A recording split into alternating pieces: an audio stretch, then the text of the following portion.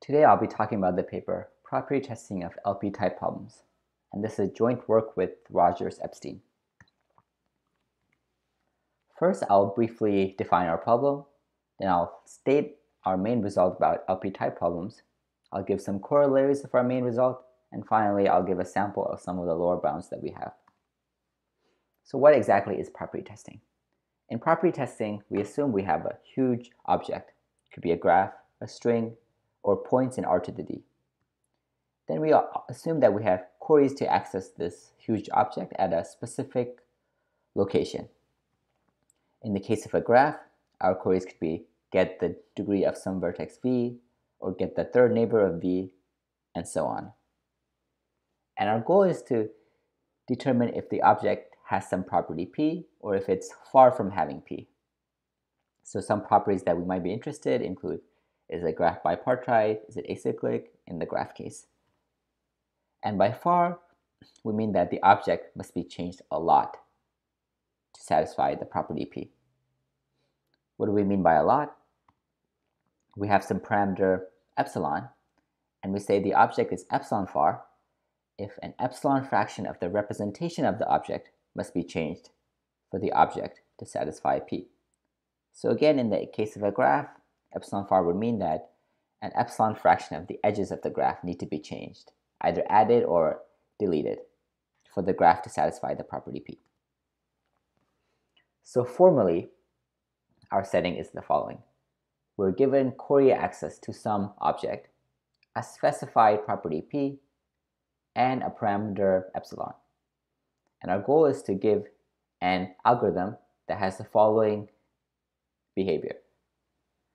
We want to accept with probability two-thirds if the object satisfies P, satisfies P, and we want to reject with probability two-thirds if the object is epsilon far from satisfying P.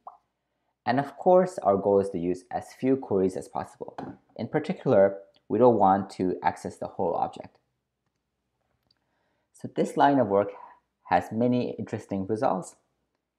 Too many to list here, and I would point the reader to the excellent book, Introduction to Property Testing by Goldreich for, uh, for a list of, for a comprehensive list of uh, references. So our setup in particular is the following. Our object is a set S of constraints. Our queries are we can access the ith constraint for any i. And, our, and the property that we care about is is 5s at most k, where phi is some function over the constraints s. So for instance, phi is an objective function that we want to minimize subject to the constraints in s. And by epsilon far, we mean that we have to remove or change an epsilon fraction of the constraints in s to achieve phi of s is at most k. So of course, this alone is too broad. Many things can be modeled as S and some objective function phi. So we have to narrow our interest. So in particular, we look at the case where S and phi satisfy a special structure known as LP-type problems. And I'll go into more detail what that means in a bit. Just as a historical note, there have been related papers that study notions that are similar, and I would point to our paper for a list of uh, references. For instance, the paper by Czumaj and uh, Sohler. So as uh, intuition, in LP-type problems, the constraints S have a special geometric structure that relates to the objective function phi. And they are natural generalization of linear programs, even though the function phi doesn't have to be linear. And these types of problems have been extensively studied in computational uh, geometry. So the formal definition of LP-type problems is the following. The uh, S and phi satisfy the following two conditions. Monotonicity, which is defined as follows.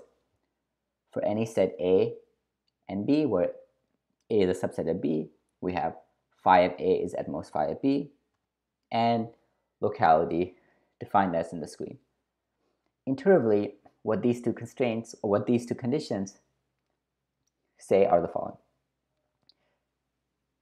Monotonicity says adding more constraints makes it harder to minimize an objective function phi. And locality says that if we add a new constraint, if we add two new constraints, x and y, and our objective value doesn't change, then adding them both at the same time also doesn't change our objective value. I'll give more concrete examples of LP type problems for the reader to internalize the intuition behind them. So some examples are the following. S consists of linear programming constraints that we're used to, for instance, x1 plus x2 minus 2x3 is at most 5. And phi is something like minimize the value of x1. Or another example is the following.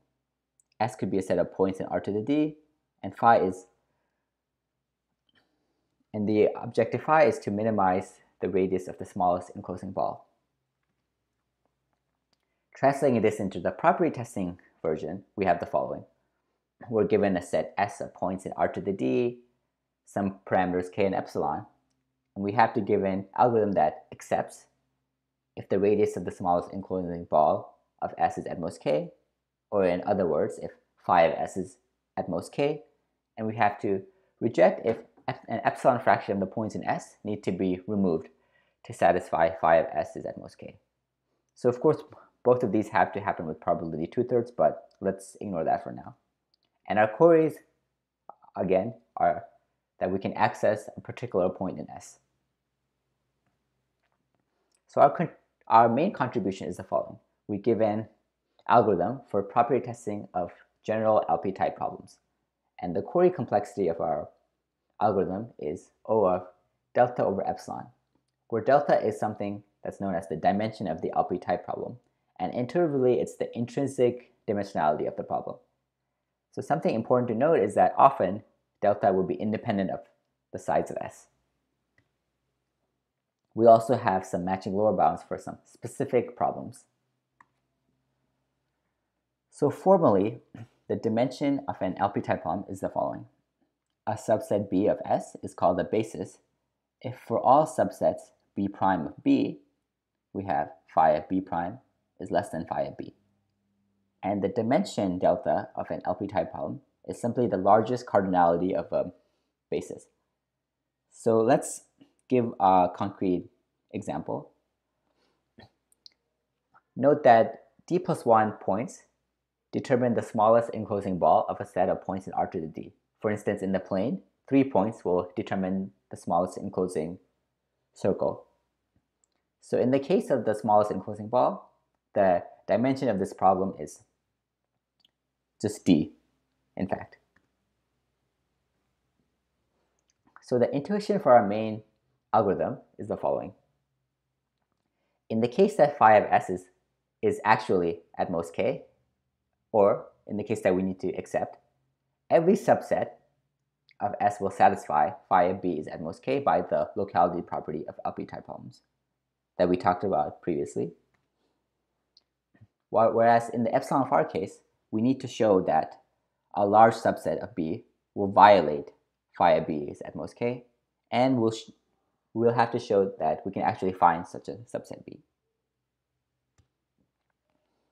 So our main algorithm is the following. First, we sample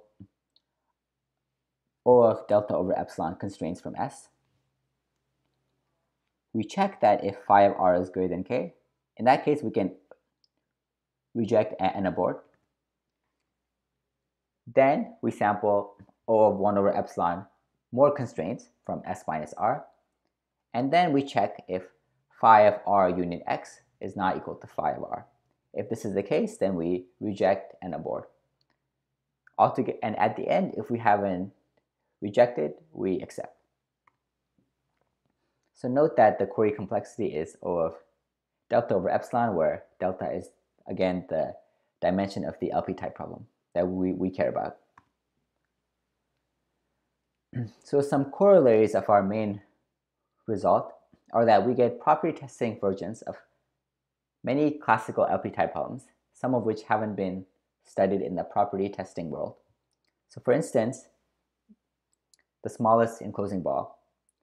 which is testing if points in r to the d can be covered by a ball of some radius r. Note that this problem has been studied previously, but an example of other problems include the smallest intersecting ball, testing if a set of closed convex bodies can be intersected by a ball of radius r, or the smallest volume annulus, testing if a set of points in r to the d can be enclosed by an annulus of volume v, and so on. Something interesting is that the problems that are listed here all have LP type dimension d, so the query complexity uh, of these problems is O of d over epsilon. But of course, this need not be the case, and we have many other examples. With slightly more work, we also, we also get corollaries. We also get the following corollaries. We can test if a set of linear inequalities in d dimension is feasible or if it's epsilon far from feasible. We can test if points in R to the d can be labeled in with labels plus or minus 1. We can, sorry, we can test if points in R to the d labeled plus or minus 1 are linearly separable or not, or epsilon far from that.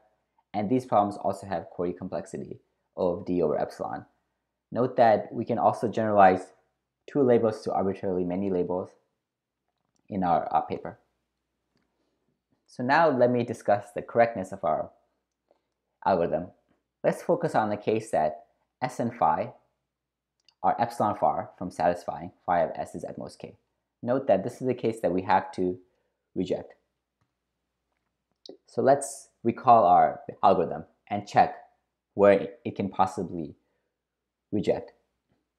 In step two, if we reject, then that's fine. That only helps us.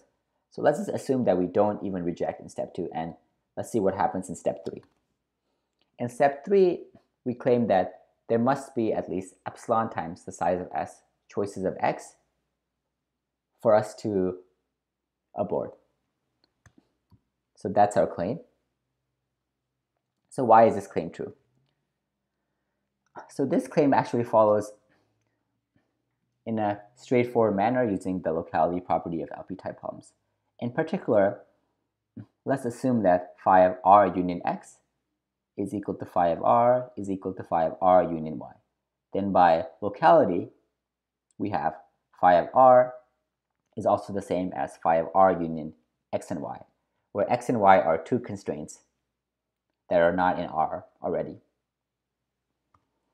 So if the claim was not true, then we could find a set S prime of S such that S prime has size at least 1 minus epsilon times the size of S, and S prime satisfies phi of S prime is at most k. But this is impossible by our assumption that, that, that we're in the epsilon far case. So in particular, this claim holds true and we reject with sufficiently high probability in the far case. So in the second case, assume that S and phi do satisfy phi of S is at most k. This is the case that we have to accept.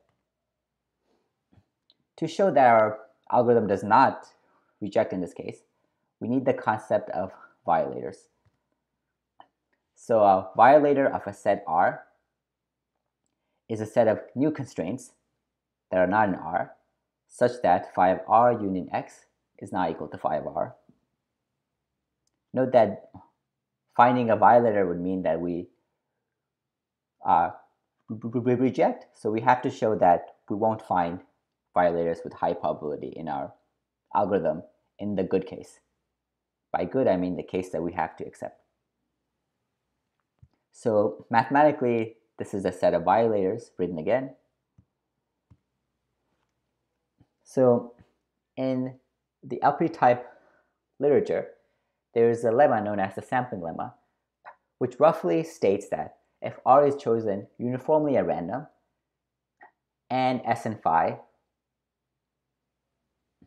is an LP type problem, then the expected size of the violators can be bounded as follows. Expected size of the violators of R is at most delta times size of S over the size of R. So informally, the sample lemma states that the number of violators is bounded by some function of the dimen dimension of the LP type problem. So I won't prove the sampling lemma here since it's a well-known fact in the LP type literature, but there are references in our paper. So let's go back to the correctness of the algorithm. Again, assuming that we are in the case that phi of s is at most k. And let's recall our algorithm. So note that in step two, we will never reject by the monotonicity property of LP type problems. So we don't have to worry about that. And in step three, we claim that there aren't too many choices of x for us to find. In particular, we claim that there, there are less than epsilon times s over 10 choices of, of x in step 3a that will abort. So that's our claim. So this claim follows from the sampling lemma, in particular by just plugging in the size of R, we, we get that there are at most epsilon times s over 10 choices of x that will um, cause us to abort. And we can work out the calculation that, you know, let's say sampling 2 over epsilon choices of x will not find any violators with good enough probability by a standard uh, calculation. So just as a historical note to the sampling lemma, this has been used in computational geometry to give fast randomized algorithms for LP type problems. And there are some uh, references that we presented at the end of the talk. But we won't prove it here for the sake of time. So let me give a sample of some of the lower bounds we have. In particular, this is my favorite lower bound that we have in our paper. So our result implies that testing if points in R to the D that are labeled plus and minus 1, testing if these points are linearly separable or not, can be done in O of D over epsilon queries. And we will give an example that shows that this query complexity is actually tight. So our lower bound is the following. Again, just to state what, we want to show, we want to test if points in R to D labeled plus or minus 1 are test if these points are linearly separable. This testing problem requires at least D over epsilon queries. So to do so, so to do so, we will give two families of points, f1 and f2, such that f is linearly separable while f2 is epsilon far from linearly separable. We call epsilon far would mean either epsilon far of the points need to be removed or epsilon far ep, sorry, epsilon fraction of the points need to be removed or an epsilon fraction of the labels need to be changed. Either works in our setting. We want to give these families f1 and f2 such that any algorithm would need at least d over epsilon queries to distinguish between these families. So let's present a side lemma about what families to use. So let x sub i be the point defined as follows. Note that, uh, note that this point, these points live in R to the D, and the coordinates of these points are i, i squared, and so on up to i to the d, and we'll have 3d plus 1 uh, many points, x sub i, and we claim that these points, x sub i, that live in R to the d, sorry, this is a typo here, it should be they live in R to the d. These points satisfy the following two conditions. There exists a labeling of these points. Yeah, sorry, S here uh, refers to the set of points x i. We claim that there exists a labeling of these points such that at least d points would have to be relabeled for these points to be linearly uh, separable. And these labelings are going to be plus or minus 1. And we also claim that any, subs, any subset of 3d plus 1 of these points can be arbitrarily labeled plus or minus 1, and they will be linearly um, separable. So the proof of this claim is in our paper, and to prove this, we use special properties of what's known as the moment curve. Okay, so given the existence of these special points, let's construct our families f1 and f2. So f1 will be the following. We pick d plus 1 points in xi. We'll copy d of them, epsilon n over d times, and we'll copy one of them, 1 minus epsilon times n times. And for the second family, we'll pick all of these points, x sub i. We'll copy 3d of them, epsilon n over 3d times, and we'll copy one of them, 1 minus epsilon times n times. So in particular, f1 and f2 both have endpoints. So our previous claim about the properties of these points x sub i imply that f1 is linearly uh, separable, while f2 is epsilon far from linearly separable. This is because our previous result tells us that any d plus 1 subset of these points, xi, x sub i, can be linearly separable given arbitrary labels in plus and minus 1, while for f2, our results imply that we need to change many um, labels of the points in f2, and if we work out the calculation, we can show that an epsilon fraction of the points in f2 need to be relabeled or uh, removed.